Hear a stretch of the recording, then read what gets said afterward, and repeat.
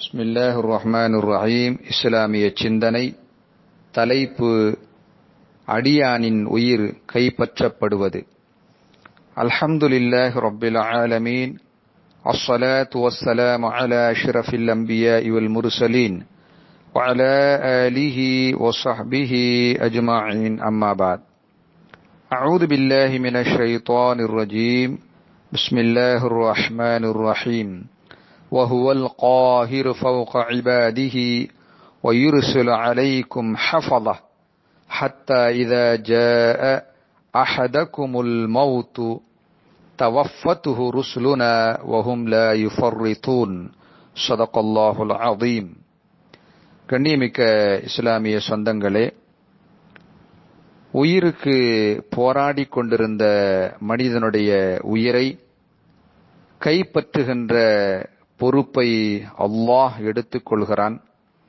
அந்த உயிர் யாரை கொண்டு எப்படியாக கவனத்தோடு கைப்பற்றப்படுகிறது என்பதை ஓதி காண்பிக்கப்பட்ட வசனம் நமக்கு தெளிவுபடுத்தி காட்டுகிறது. அவன் தன் அடியார்கள் மீது ஆதிக்கம் செலுத்துகின்றவன் ஆவான். அவன் உங்களுக்கு பாதுகாவலர்களை அனுப்புகின்றான். இறுதியில் உங்களில் ஒருவருக்கு இறப்பு வரும்போது நம் தூதர்கள் அவரது உயிரை கைப்பற்றுவார்கள். அவர்கள் தமது பணியில் கவனக்குறைவாக இருக்க மாட்டார்கள் என்று அல் குரான் சூரத்துல் அன்ஆம் ஆறாவது அத்தியாயம் அறுபத்தி ஒன்னாவது வசனத்தில் அல்லாஹ் சொல்லிக் காட்டுகிறான். இந்த வசனத்திலே அவன் எல்லாவற்றின் மீதும் அதிகாரம் செலுத்துகிறான்.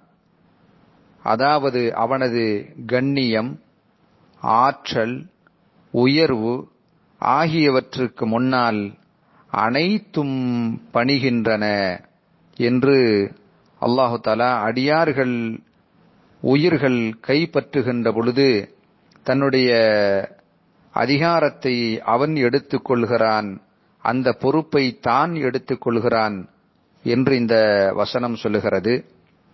மேலும் அந்த அடியானுடைய உயிரை கைப்பற்றுவதற்கு பாதுகாவலர்களை மலக்குகளை அல்லாஹ் அனுப்புகிறான்.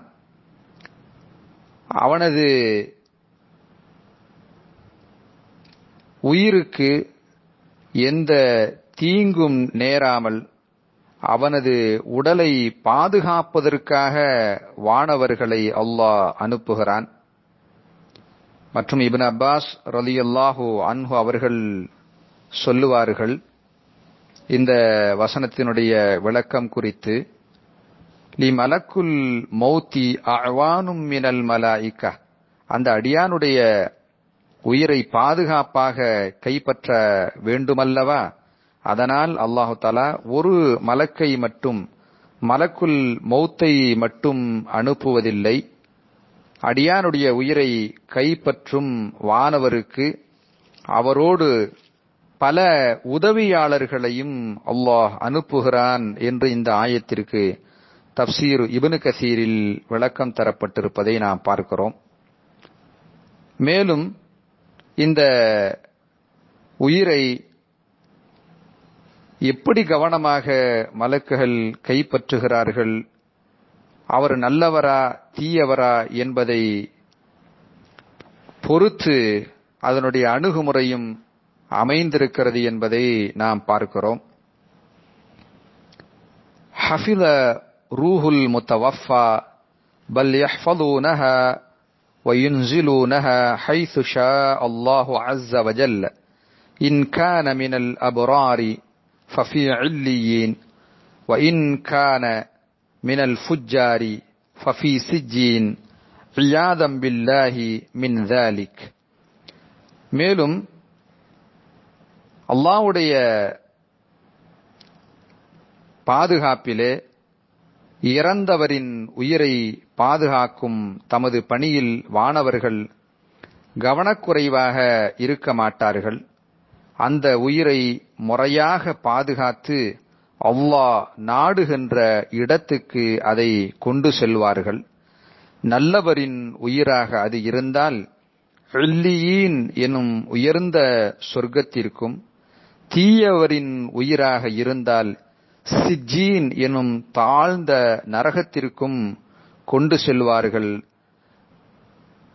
அல்லாஹ் இப்படியான நரகத்திலிருந்து நம்மை பாதுகாப்பானாக என்று இந்த ஆயத்திற்கு தப்சிர் இபனு கசீரில் விளக்கம் எழுதப்பட்டிருக்கிறது. இப்படியாக மனிதனுடைய உயிர் கைப்பற்றப்படுகிறது. அல்லாஹ் நம்முடைய உயிரை அள்ளியின் என்ற உயர்ந்த சொர்க்கத்திலே குடியிருக்கச் செய்வானாக. ஆமீன். யா ரப்பல் ஆலமீன். அஸ்ஸலாமு அலைக்கும் ورحمة الله وبركاته.